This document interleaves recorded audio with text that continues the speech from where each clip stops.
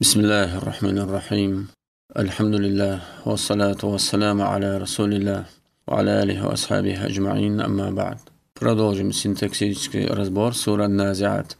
Разбирая аят «Валь-арда ба'да ذلك дахаха» мы дошли до слов «дахаха». Итак, «даха» это фи'аль надун, глагол прошедшего времени. مبني على الفتح с неизменяемым окончанием с фатха на конце. مبني على الفتح المقدر في آخره с неизменяемым окончанием со скрытой, подразумеваемой на конце фатхой. Хамана мин зухури хатта'зуру, проявиться которой помещала невозможность огласовать букву алиф.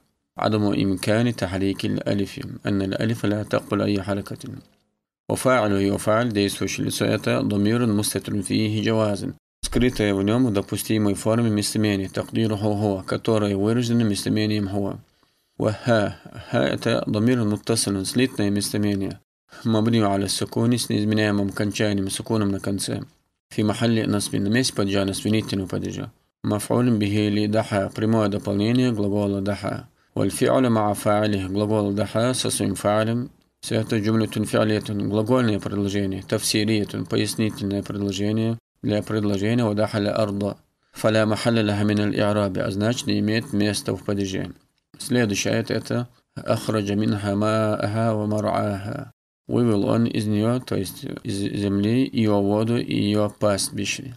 أخرج это فعل ماض глагол прошедшего времени. مبني على الفتح с неизменяемым окончанием с фатха на конце. وفاعله يفعل действующее лицо это ضمير مستتر فيه جوازا скрыто в нем в допустимой форме местоимения تقديره هو который подразумевается местоимением هو والفعل مع فاعله глагол أخرج со своим фаалем все это جملة فعلية глагольное предложение тавсирит или قبلها пояснительные предложения для предыдущего, для предшествующего предложения. والأرض بعد ذلك دحاها. Минха минета харфу جر предлог родительного падежа مبني аля сукуни, с неизменяемым окончанием сукуном на конце. Ха это домир متصل слитное местомение. مبني аля сукуни, с неизменяемым окончанием сукуном на конце. في محل جر бимин. на месте падежа جر родительного падежа посредством харфа мин. Вальджару вальмаджрур – предлог родителю падежа мин и находящееся посредством него на месте падежа джар местоимение ха муталликан би ахраджа состоят в смысловой связке с глаголом ахраджа. Ма АГА ма это мафуль бихи прямое дополнение глагола ахраджа. Мансубан поставлен в состояние звенительный падеж. Ва алямуту насби признак падежа нас в этом имени. Аль-фатату захирату фи ахирихи явная фатха на его конце. Ума – это мудаф, является первой частью зафетной связки. وهاية ضمير المتصل слитное местоимение مبني على السكون с неизменяемым окончанием سكون на конце في محل جر بالمضاف на месте поджая جر родителем поджая посредством مضافة ومرعاها الواو это حرف عطف سيوس مبني على الفتح с неизменяемым окончанием с فتح на конце مرعاة معطوف على ماءها سيدنا سيزواو слово ماء والمعطوف على المنصوب منصوب مثله соединенное с поставленным состоянием с именем имя так же, как предыдущее, предшествующее будет составлено свинительным падежем. وعلامة نصبه признак падежа насб в этом имени. Аль-фатату аль-мукаддарату фи ахири, скрытая на его конце фатха. Мана мин зухуриха та'азуру, проявить который помещала невозможность дать огласовку алиф, невозможность огласовать алиф. Мара это мудаф, является первой частью зафетной связки. Уха это ضمير متصل слитное местоимение. مبني على السكون с неизменяемым окончанием, суконом на конце, في محل جر مضاف إليه на месте поджа джар родительный поджа будет мудаф илей. То есть не будем все это повторять. Следующий аят это والجبال أرساها и горы утвердил он их. إعراب هذه الآية هو نفس إعراب آية والأرض بعد ذلك دعاها. То есть синтаксический разбор этого аята точно такой же, как и у аята والأرض بعد ذلك دعاها. Так, الواو это у нас حرف عطف союз مبني على الفتح.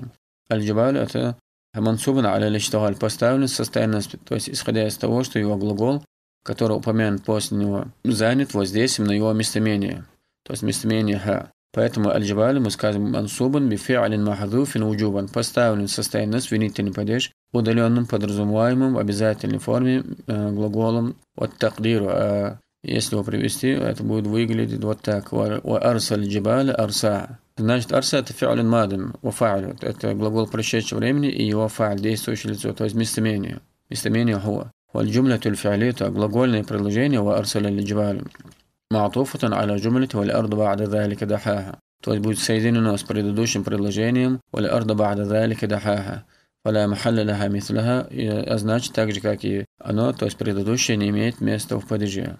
أرساها أرساها فعل ماض глагол прошедшего времени مبني على الفتح المقدر في آخره с неизменяемым окончанием с подразумеваемой фатхой на конце. Мана мин узухури хатта'адру, проявить который помещала невозможность дать огласовку алифу, букве алиф. Уфа'алю и уфа'аль, действующее лицо. Это у нас домир мустатрун фихи джавазан, скрытый в нем в допустимой форме местоимения, тaqдиру хуа, которое выражено местоимением хуа.